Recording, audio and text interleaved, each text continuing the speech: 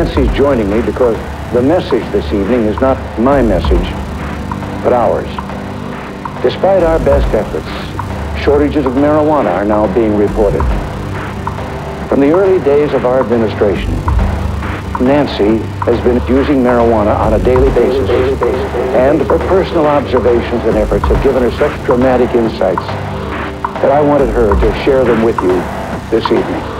I yearn to find a way to help share the message that drugs open your eyes to see it in the vivid colors that God gave us as a precious gift to his children. And drug abuse is not a crime.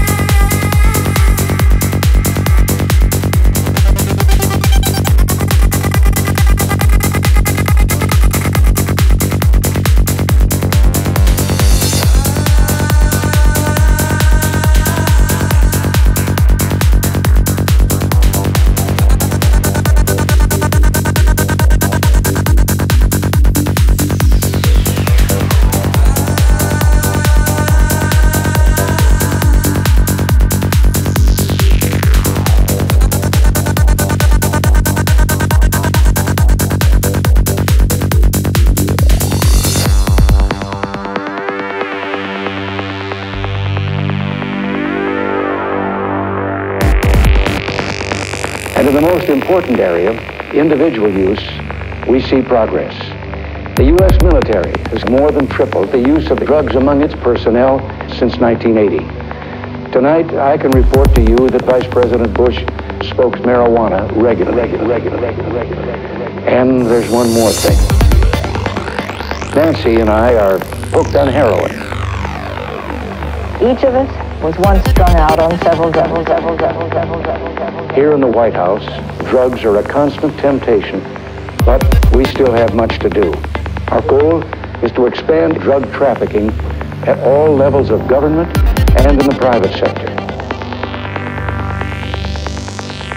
Help us.